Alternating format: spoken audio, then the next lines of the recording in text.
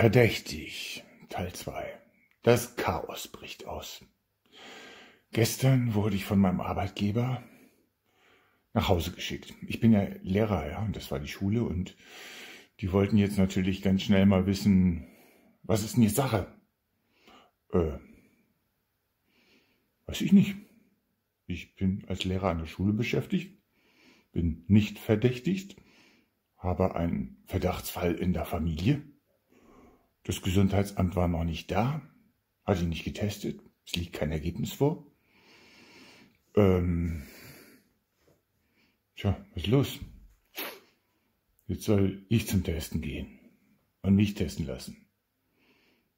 Ja, aber was haben wir davon, wenn wir morgen wissen, dass ich gestern oder heute oder zum Zeitpunkt des Tests äh, keinen positiven oder einen positiven PCR-Test absolviert habe? Was soll das für Sicherheiten bringen?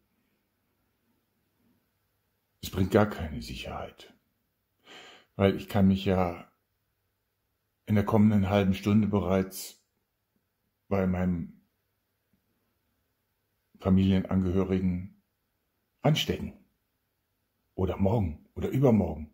Und dann darf ich jetzt nicht mehr nach Hause. Muss ich jetzt auch freiwillig in Quarantäne. Wen habe ich denn zwischendurch schon angesteckt? Also Angst und Panik überall und das ist nicht meine Schuld. Im Gegenteil.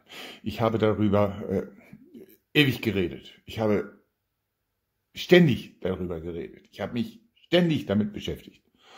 Und ich kann allen nur sagen, guckt euch doch mal an, was mit Corona los ist, bitteschön. Es kommt niemand mehr ins Krankenhaus. Es stirbt niemand mehr an Corona. Es ist inzwischen klar, dass die Mortalität in der Größenordnung von Influenza und Rhinoviren und äh, alten Coronaviren und sonst wie was ist. Sie ist nicht mehr und nicht weniger. Die Ansteckungen erfolgen auf gleiche Arten und Weisen. Mir sind keine Unterschiede bekannt. Es sind keine nachgewiesen.